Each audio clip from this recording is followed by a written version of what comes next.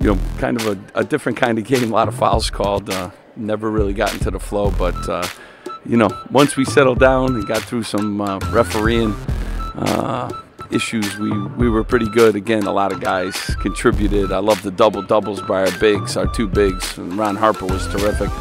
Uh, but I thought again, everybody kind of chipped in and. and you know, when we make the extra passes and we do those little things, um, you have a chance to be pretty good. We kind of pulled away at the end.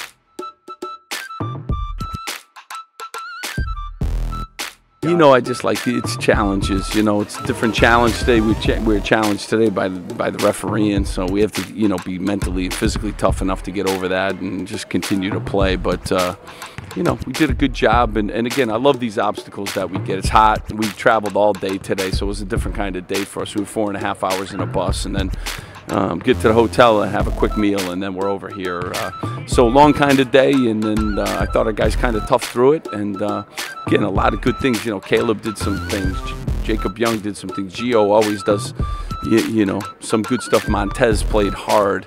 Um, you know, I, I, again thought we got you know good efforts from our big guys. Akwasi does a lot of things for us. So rebound, stick his nose in there.